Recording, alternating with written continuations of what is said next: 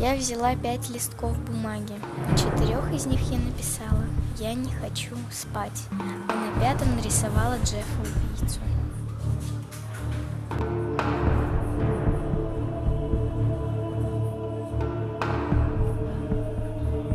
Обычно Джеффа убийцу вызывают в подъезд и разносят листки по этажам. Но так как я живу в частном доме, то можно разнести листки по разным комнатам.